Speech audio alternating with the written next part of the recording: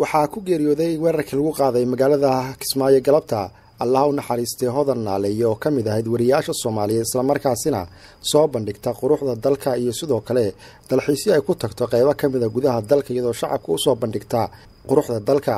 Hodan naaleeye ayaa ka mid a wariyaasha qurba joogta ah iyadoo allaha u naxariistay ay galabta ku geeriyootay weerarkii ka dhacay magaalada kismaayo ee lagu qaaday hoteelka cascasey iyada iyo saygeeda hodan iyo saygeeda ayaa deganaa hoteelkaasi iyagoo ka mid noqday dadkii ku geeriyooday qaraxaasi muuqaaladii ay samayn jirtay oo aan qayb ka mida soo qaadanay waxaa ka mid ahaa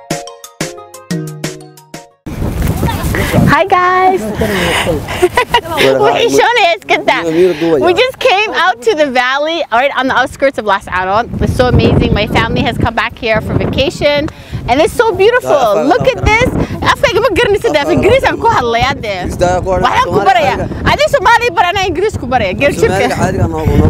Keen. Hadda kula hadlaya Soomaalida. Hadda Ingiriis dadka qurba joogaan la hadlayaa dee. Waxaan soo doonay dee nimcada wadankeena. Ha.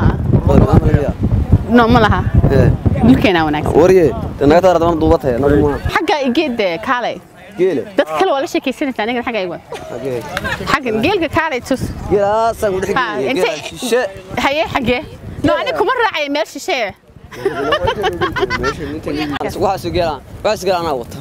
Aabbaha miya wata yaa aabbaha miya aabbaha mey odaygani ha odaygan waa adeerkay adeerka okay aabbaha meyde ma jooga way abahe ma joogo okay maxaa dadka qurbo u sheegaysaa geelkan oo nimcadan maasha allah ku jirtid ma rabta inaad taariib gashid ma ma tahriibigina xagga iga dee May- waxaa nimcada ilaahay iska dhex jooga geelaygaasna wataa lisaya haye waka weydinkaa iskaga kii dhex yimisaa soconaysiin waa run nimcada waayi maayadii waa run maasha allah maasha allah